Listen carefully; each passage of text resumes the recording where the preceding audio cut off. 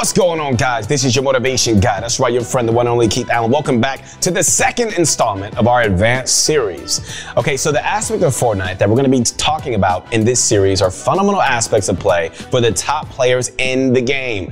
Throughout the next couple of weeks, we're going to be breaking down every specific aspect of Fortnite that is essential to getting to the highest level. So today, we're going to be exploring everything that we need to know about early game in competitive Fortnite. You guys ready?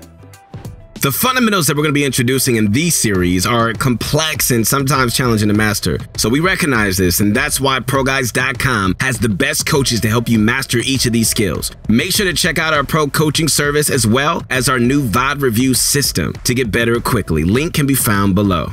So a major part of mastering early game is getting yourself as much information as possible before you can even touch the ground. When you first load into a game, you sit in a pre-game lobby that shows you the upcoming bus route, right? As discussed in the pre-tournament installment of this advanced series, it is best to go into a tournament with a singular landing spot. So the first thing that you should do once loading into the pre-game lobby is really to figure out when you need to drop out of the bus. For example, like if your landing spot is Slurpy Swamp, That's mine. And the bus route is going from the west to east. You will need to drop out of the bus a lot sooner than someone landing at, you know, Retail Row. So it's extremely important to not scuff your drop in these tournament games. So after you've exited the bus, all right, your work begins, right? While gliding, there are a couple of things that you need to be looking out for. All right, get this. The first thing you should be looking for is if you're getting contested directly at your landing spot. Is anyone landing at your building or chest? Is anyone landing directly next to you? Is anyone landing on your side of your POI? These are all questions that you should be asking yourself before landing. So the next thing to consider is if anyone can disrupt or cut off your loot path. For example, if you land the east side of Misty Meadows and an opponent also lands east side, at what house could he cut off your loot? This should also be considered before you even land.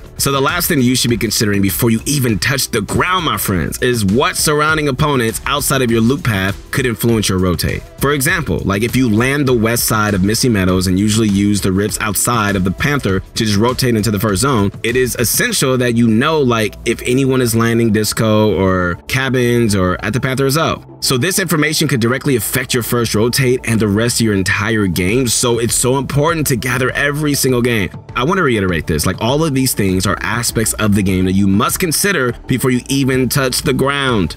So you've landed. All right, what's next? All the information that you gathered before you landed now needs to be implemented into the game. There are no, you know, two identical situations in Fortnite. In other words, each situation is unique to that game at that time. And this is why your pre-drop information is so important. For example, like if you land at Holly Hills and typically loot for a long time and use rifts to rotate, but you see that someone is landing at the big doghouse, you would have to spend less time looting and rotate earlier knowing that they will most likely be using the rifts. Another example of implementing your pre-drop information would be if you land on the east side of Misty Meadows and an opponent lands on the west side. You would want to land closest to the bridge and just loot away from your opponent to make sure your loot path doesn't get cut off. Since no two early game scenarios will be identical, right? It's important to base your loot path and first zone rotation evaluations based on the information you gathered before you land, not after, okay? Now that you've done your pre-landing evaluation, you've landed, and have a general understanding of how you need to play up until the second zone, all right, let's break down exactly how you should be executing your loot path. Who's ready for this? After you ensure your loot path isn't going to get cut off, there are another two things that you need to master to perfect your early gameplay. Here we go. The first skill It's speed. Yeah, speed. Ideally, you want to practice your loot path before your tournament, as discussed, you know, in last week's installment. But this is still very much applicable while in tournaments as well. Like, regardless of how far or close your first rotation is, maintaining an efficient speed throughout looting is extremely important to setting yourself up later on in the game. With the 100% chest spawn rate getting taken out this season, your ability to loot as many chests as possible is ever more important. So, the faster you are looting, the more chests you're going to get to.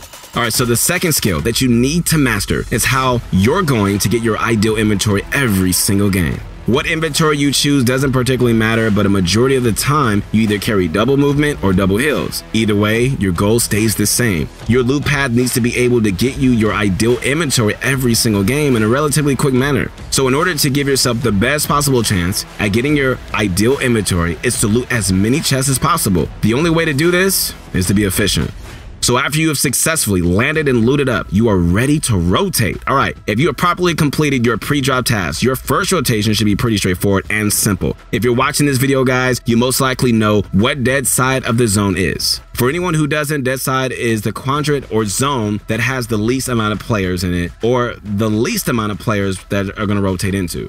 Getting to the lowest density or dead side of a zone is the most important thing to do when rotating into the first zone simply because it's going to set you up for earlier rotations into future zones. You should be able to identify which part of the zone is going to be dead side well before the first zone starts to close. Generally speaking, like it will play to a top corner of the map depending on the zone. How you get to the dead side will depend on the map mobility, including boats, cars, or rifts around you, as well as how far you need to go. The mobility around where you land will be a deciding factor on when you need to leave your drop or, you know, how far you have to rotate and overall how difficult it is to get to dead side. If you land in the middle of the map, you will pretty much never pull dead side, but will also have a manageable rotate. If you land around the edge of the map, all right, you will sometimes get dead side, but run the risk of just having max distance rotates to certain zones in certain games. And, you know, after you get to dead side of the first zone, you're to be ready to play mid game. So now for the wonderful recap. All right, firstly, do your pre-drop preparations, my friends. You need to gather as much info about your surroundings as you can to give yourself the best chance of making it out of early game. Second, know like what you're doing immediately after landing. Implement your pre-drop information into your playstyle and begin looting. Okay, third, execute your loot path. Loot quickly and efficiently while striving to get to your ideal inventory each game. And fourth, execute your first rotation, man. Like use map mobility and leave your drop on time to ensure that you get to dead side of the first zone, right?